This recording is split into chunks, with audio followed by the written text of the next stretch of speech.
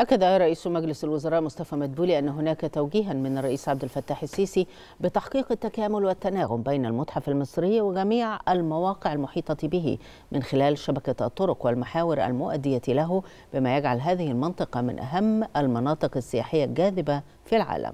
جاء ذلك خلال عقد رئيس مجلس الوزراء اجتماعا لمتابعة مستجدات العمل بمشروع المتحف المصري الكبير وموقف تطوير المنطقة المحيطة.